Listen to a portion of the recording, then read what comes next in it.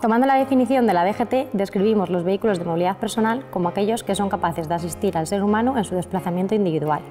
Dentro de estos vehículos se engloban el e-skate, monociclo eléctrico, hoverboard, segway, mini segway, patinete para carga, patinete eléctrico con y sin asiento.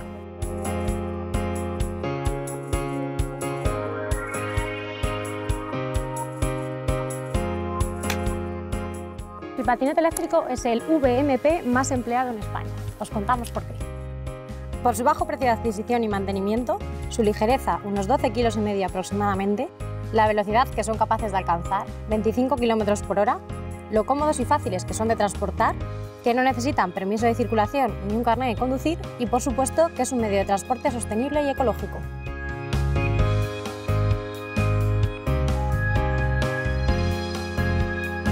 Los patinetes eléctricos se componen principalmente de las siguientes partes.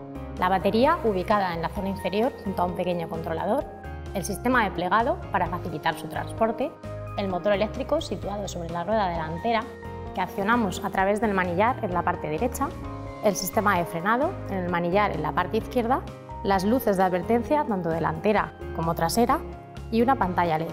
Es habitual completar el uso de estos dispositivos con una aplicación móvil. Actualmente este tipo de vehículos vienen identificados con un número de serie.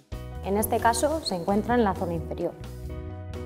A continuación vamos a ver más en detalle cada una de estas partes del Xiaomi Mi Scooter M365. Este patinete monta un motor brushless sin escobillas de 250 vatios que proporciona una velocidad máxima de 25 km por hora. Para poder acceder a la batería y al controlador es necesario retirar la cubierta inferior. Para ello vamos a quitar los tornillos que incorpora.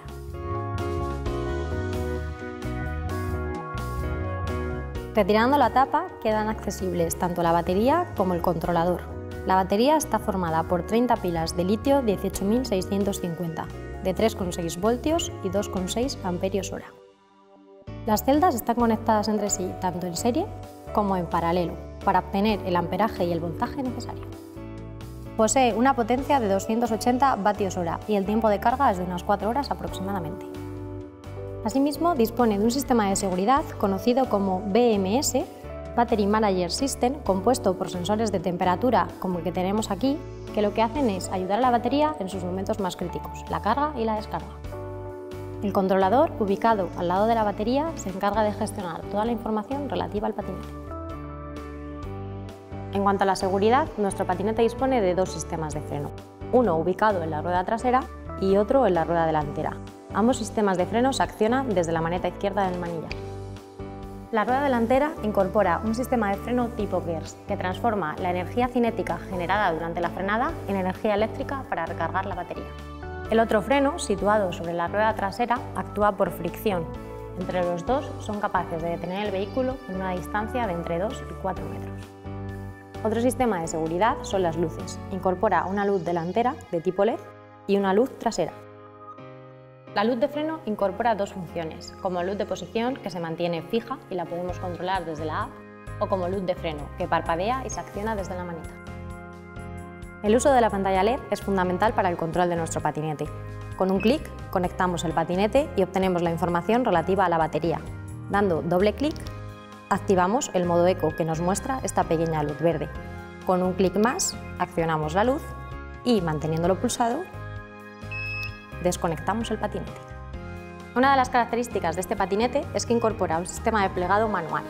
Simplemente retirando el bloqueo podemos plegarlo y mediante el sistema de anclaje fijamos el guardabarros al manillar, lo que nos facilita su traslado.